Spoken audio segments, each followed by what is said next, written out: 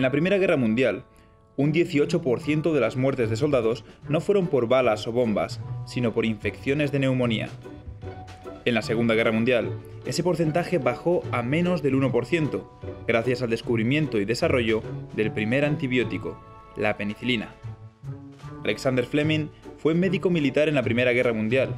Quedó impresionado por la gran mortalidad causada por las heridas de metralla infectadas. Al volver al Hospital St. Mary en Londres, se dedicó a buscar un nuevo desinfectante para la piel. Fleming descubrió la lisocima, una barrera ante las infecciones, pero su desorganización y mucha casualidad provocaron su gran descubrimiento. En 1928, antes de irse de vacaciones, Fleming había dejado sin limpiar algunas placas de Petri con bacterias en una esquina del laboratorio. Al volver, vio que algunos cultivos se habían estropeado y decidió tirarlos.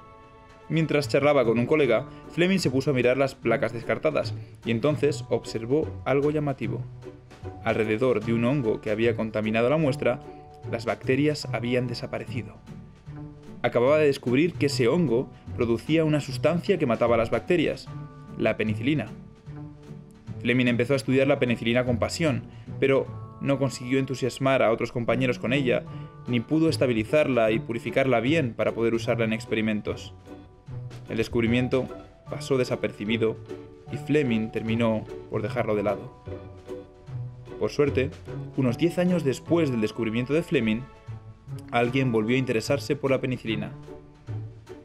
El patólogo Howard Walter Florey retomó la investigación con un gran equipo, entre ellos Ernst Boris Chain y Norman Hitley. Ellos lograron superar las dificultades de Fleming, estabilizando y purificando la penicilina. Lo hicieron por amor al conocimiento científico, sin ninguna pretensión médica, como explicó Chain años más tarde. La posibilidad de que la penicilina tuviera un uso práctico en la medicina clínica no entraba en nuestras cabezas cuando empezamos con el trabajo. Aunque se demostró su gran potencial sanador en ratones, la penicilina no empezó a producirse en masa hasta la entrada de Estados Unidos en la Segunda Guerra Mundial, cuando su gobierno incentivó esta investigación. El uso de la penicilina en el frente de batalla logró salvar a miles de soldados en la Segunda Guerra Mundial y ha seguido curando a millones de personas desde entonces.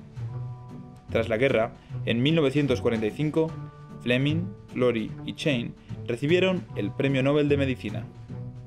En su discurso de aceptación, Fleming dio un aviso profético.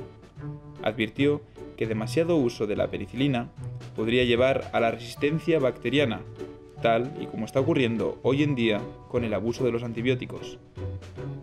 El descubrimiento de la penicilina pasó a la historia como una sorprendente casualidad, pero no habría sido posible aprovechar este azar sin el conocimiento científico de Alexander Fleming y su enorme capacidad de observación.